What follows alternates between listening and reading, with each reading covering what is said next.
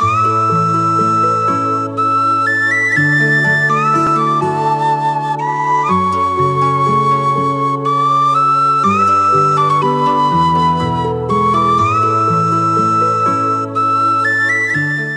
guys, it's Angie with Fun Endeavors Tie-Dye Lab. Today I'm going to do another Shamrock t-shirt. I think this one turned out better than the first one that I tried. To begin, I'm going to fold my shirt in half and I'm going to mark the center of the shirt with a washable marker. Then I'm just going to isolate the front of the shirt. I'm only going to work with the front of the shirt for this t-shirt. I'm going to take my washable marker and I'm going to put a dot where I'd like the center of the shamrock to be. I'm going to take my protractor, put the center on my dot,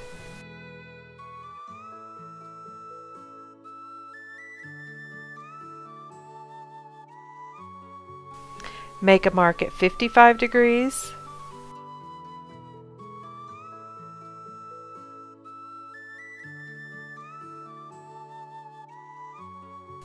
another one at 110 degrees,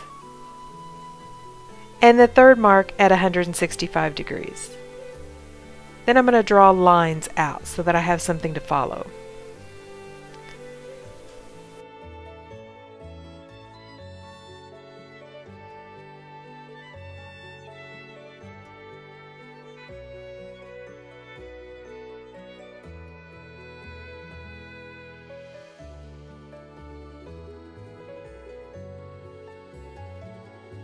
The first mark that was at 55 degrees, I'm going to fold that top portion above that down. So I'm going to fold that underneath the shirt.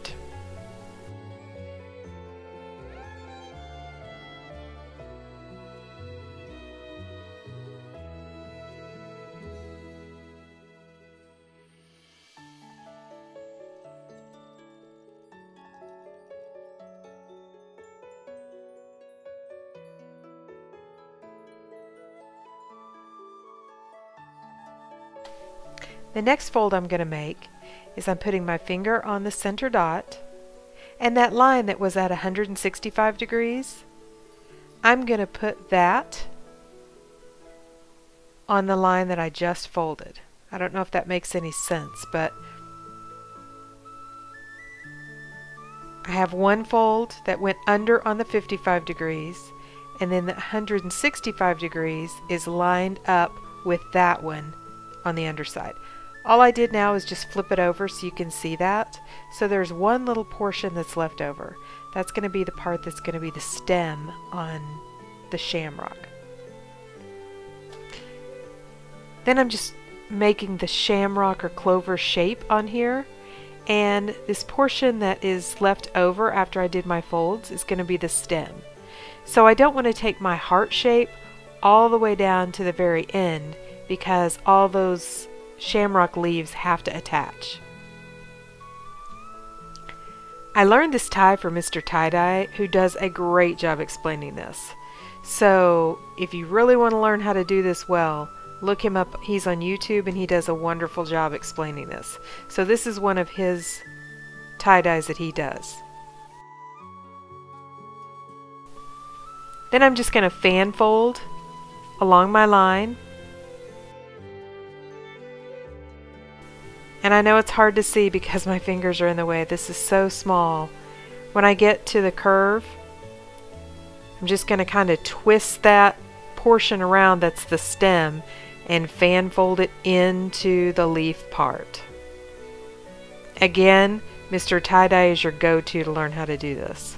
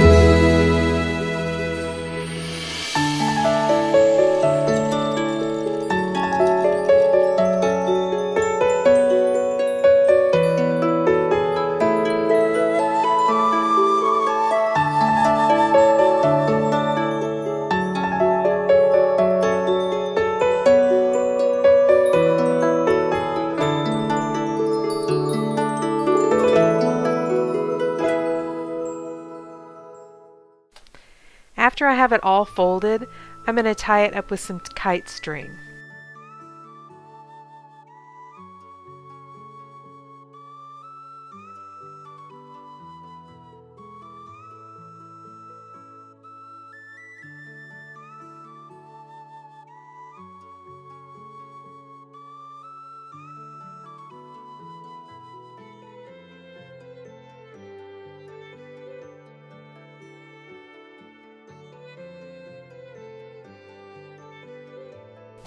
My line is not completely straight, so I'm going to draw this same exact shape so that I know where to put my dye on the back side of this.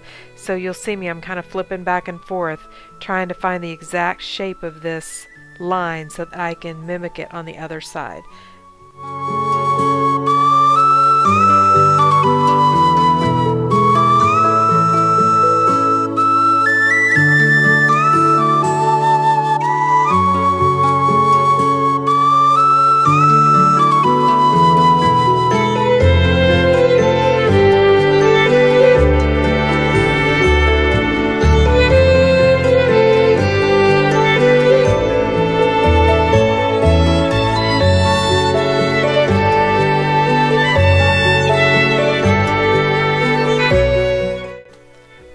Rest of the shirt, I'm going to scrunch. So I pick the shirt up and I put the sleeves inside one another and then I scrunch the shirt up and just use some rubber bands to hold the rest of it together.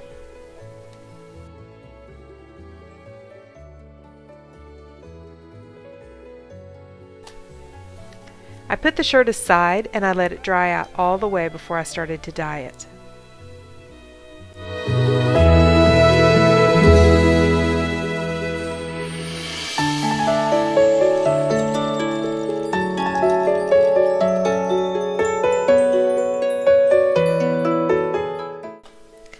Going to use some Dharma Trading Colors for this shirt. The black I've thickened just a little bit. And then I'm using bright green at the very end, followed by new emerald green up close to the black line, citrus yellow on the other side of the black line, and then for the scrunch portion I'm putting Wedgwood blue and when I run out of the Wedgwood blue that I had mixed up, I added a little bit of baby blue on the top just to make sure I got quite a bit of color on the shirt.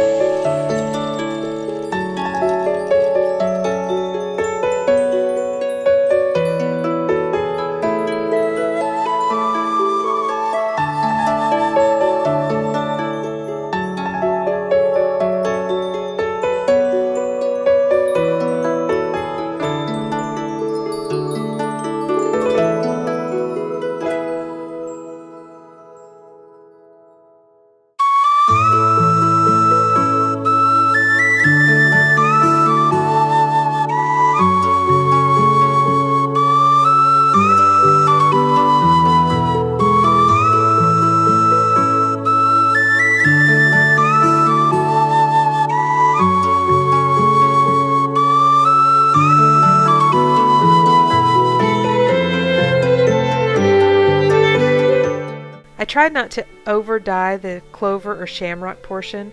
That's kind of what I did on my last one that I did.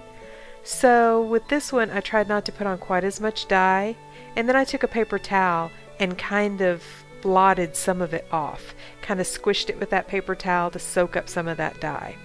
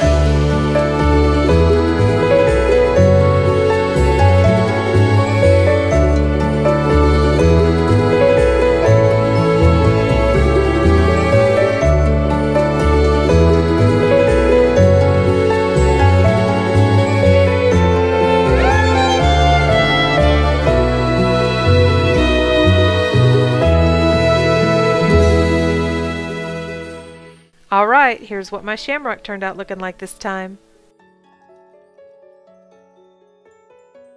Thank you guys for watching and have a happy St. Patrick's Day.